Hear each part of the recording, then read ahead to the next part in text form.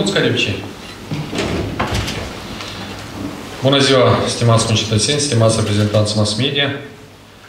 Alegerile s-au finalizat. Eu vreau să vă felicit pe toți cetățenii Republicii Moldova cu faptul că putem trage linia, ne calmăm și mergem mai departe. Rezultatele preliminare arată că oponenta mea, doamna Maia Sandu, este câștigătoare. Este vorba de rezultatele preliminare. Și vreau preliminar să o felicit cu acest lucru. În același timp, vreau să menționez că statul nostru electoral a fixat mai multe încălcări fără precedent în acest scrutin prezidențial. Este vorba de blocarea dreptului de vot pentru cetățenii Republicii Moldova care locuiesc în stânga Nistului. Este vorba de transportarea alegătorilor în țările membre ale Uniunii Europene. Este vorba de implicarea prin declarații a diferitor oficiali occidentali și influențarea rezultatului votului. Eu, pe parcursul uh, acestei nopți, astăzi dimineață, am primit sute și mii de mesaje de la concetățenii noștri, nu doar din Republica Moldova, de pe întreg teritoriul țării, alegătorii mei, care întreabă cu lacrimi, dar de ce să permitem celor care au fraudat alegerile să nu contestăm? Din nou, repet, o felicit preventiv pe doamna Maria Sandu cu acest rezultat, dar sunt obligat să apăr votul celor care au votat pentru mine. Prin toate căile legale. Cec, judecată, Curtea Constituțională. Vreau să-i transmit un mesaj tuturor celor care m-au susținut, stimați concetățeni. Practic, aproape jumătate din populația țării a votat pentru candidatura mea la funcție de președinte. Eu vă chem și vă îndemn la calm, la liniște. Categoric niciun fel, niciun fel de destabilizări și proteste. Eu o să vă spun dacă vor fi necesar să ieșim în stradă. Nu ne dăm la provocări. Nu ieșim la proteste. Mergem pe calea legală prevăzută expres de legislația în vigoare. În caz dacă instanțele vor confirma că totul a avut loc conform legislației, legal, atunci vom pune punct și la această campanie electorală. Un lucru foarte important. Și o să repet din nou. Nu trebuie să permitem destabilizarea situației. Eu știu că sunt doritori acum să arunce țara într-o nouă criză politică sau destabilizare. Eu sunt un uh, politician responsabil. Și vedeți că chiar dacă am multe întrebări, am felicitat-o pe doamna Maesan. Cu toate că cum s-a comportat față de mine, față de legătorii noștri, lasă critica într-o parte. Dar e important să dăm acum autoritate politică toți, și eu, și doamna Maesan. Gata, au trecut, tragem linie. Lăsăm apelurile astea la ură, la denigrare. Eu pe cei care m-au susținut sunt fer convins că o să-i conving să fim calm, liniștiți. Trebuie să o faceți același lucru. Să o faceți la fel. Calm, liniștit. Viața începe de astăzi o nouă etapă. S-a terminat o partidă, începe următoare. Încă nu știi care mi-e interesant. Încă nu se știe care mi-e interesant. De aceea vă îndemn la calm, la liniște. Există proceduri foarte clare cum să mergem mai departe.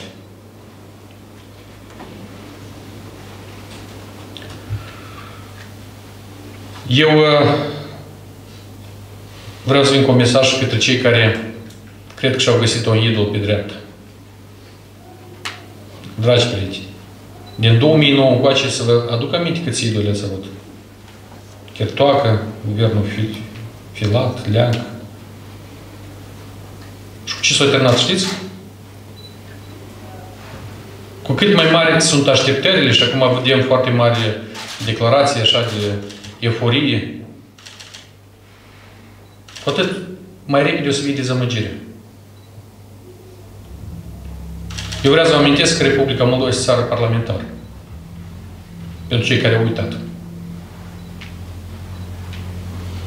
Că în Republica Moldova un președinte poate să și execute angajamentele și unele așteptări foarte mari care pot lansate în această campanie. Atunci când are susținerea Parlamentului și a Guvernului.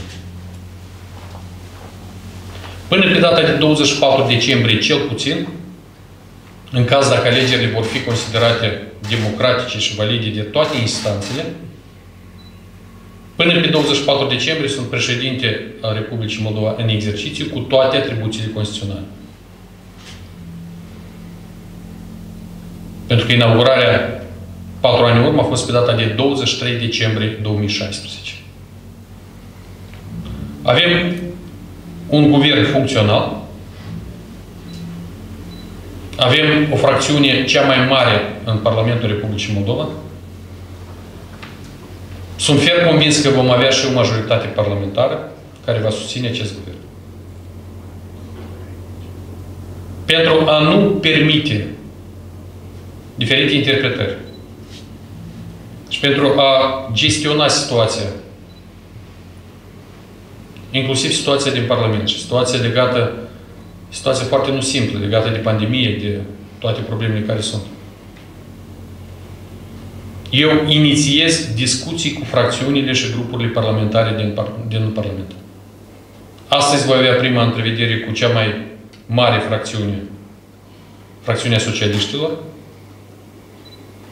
Mâine voi invita la discuții cei care sunt mai aproape pe chiar pe democrați. După care discutăm cu PAS, discutăm cu DA, discutăm cu alte grupuri parlamentare. Pentru a înțelege care sunt viziunile. Noi avem câteva legi importante care trebuie să fie votate în timp apropiat, pe care oamenii le așteaptă. Este vorba de buget, este vorba de politica fiscală, este vorba de câteva proiecte care sunt stipulate în programul cu Fondul, Fondul Monetar Internațional. Eu am discutat acum dimineață cu premierul, cu speakerul, vom merge în trei la aceste discuții și consultări cu grupurile parlamentare. Însă, repet, noi trebuie să evităm o criză politică gravă. Pentru că dacă mai intrăm acum pe fundalul la tot în criză politică, atunci situația va fi social și economică foarte dificilă. Noi și așa am trecut în acest an prin mai multe provocări. Anul 2020, în genere, este un an foarte dificil. Cu pandemie, cu secetă, cu criză economică. Dar ați văzut că am gestionat situația. Am plătit la timp salariile, pensiile, am construit drumuri, am ajutat agricultorii. Suntem fer convinși că noi putem împreună cu echipa să asigurăm și în continuare această stabilitate. Să gestionăm situația. Cei care vor să creeze crize politice nu au decât dar să-și asume și consecințele. Să-și asume și responsabilitatea pentru situația din țară. Ne așteaptă o perioadă dificilă în față, suntem în plină pandemie. O criză politică ar afecta enorm gestionarea situații legate de pandemie și de blocul social și economic. Personal, am trecut prin mai multe etape în cariera mea politică. Am avut și victorii, am avut și înfrângeri. Eu sunt pregătit pentru orice scenariu. Eu am creat o echipă puternică, echipa Partidului Socialiștilor care sunt alături de mine și au fost alături de mine și sunt fier convins vor fi și în continuare. Iar eu mă angajez în fața susținătorilor mei că voi face tot posibilul să apăr acele angajamente și promisiuni pe care le-am anunțat. Acele valori. Indiferent de ce se va întâmpla în următoarele câteva săptămâni. Eu vă promit că voi fi alături de dumneavoastră, așa cum a fost tot timpul. Nu plec nicăieri. Vom apăra poziția noastră, democratic, calm, liniștit, așa cum am făcut-o tot timpul. Și vom da dovadă de responsabilitate față de țară. Și de caracter atunci când va fi necesar. Dar noi știm cum și când. Totul va fi bine, stimați prieteni. Dar, încă o dată, calm oponenților. Calm, liniștit, lăsați euforie. În două, trei zile se termină. Ce facem mai departe? Ce facem mai departe? Doar cu euforie departe nu ajunge. Eu vă mulțumesc și vă urez sănătate și stimați concetățeni. Încă o dată, repet, totul va fi bine. Puteți fi siguri. Я пару слов скажу на русском. Вот. Говорит Аврил там, да, да, нужно на русском. Давайте скажу пару слов на русском. Все сначала, Аврил? Ну, самое главное. Э, дорогие друзья, дорогие сограждане, э, выборы закончились. Пора работать. Хватит. Поборолись в избирательной кампании. Нужно начинать работать. Предварительный подсчет показывает, что мой оппонент выиграл эти выборы. Это предварительный результат, и предварительно я ее, конечно, поздравляю. Но беспрецедентные нарушения, которые не были ни на одной избирательной кампании за все годы независимости. Запрет голосования жителей Приднестровья. Подвоз и подкуп избирателей в странах Европейского Союза. Организованный прямое вмешательство со стороны западных лидеров в избирательную кампанию в Молдове. Не было еще такого. И, конечно, в этой ситуации я обязан для защиты интересов наших граждан и почти половина страны, которые за меня голосовали, использовать все законные методы для того, чтобы опротестовать эти результаты. Я не призываю никого выходить на улицы. Нам не нужна сейчас дестабилизация. Ситуация так непростая. Но законные этапы ЦИК, суд, апелляционная палата, Конституционный суд нужно пройти для того, чтобы выборы и на следующие этапы люди знали, что нельзя так издеваться над нашими гражданами. И мы обязаны это сделать. Я хочу обратиться к своему оппоненту, к своей оппонентке, призвать своих сторонник, сторонников тоже к спокойствию. Не выводить людей на улицы. Я хочу напомнить, что Молдова парламентская страна, где для того, чтобы выполнять свои обещания, президенту нужно парламент и правительство.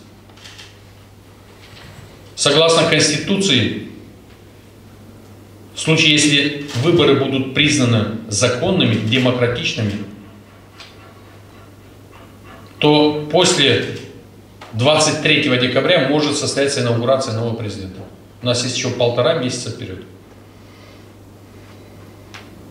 Есть действующий президент, есть сильное правительство, есть самая большая фракция в парламенте с реальной возможностью создания парламентского стабильного большинства.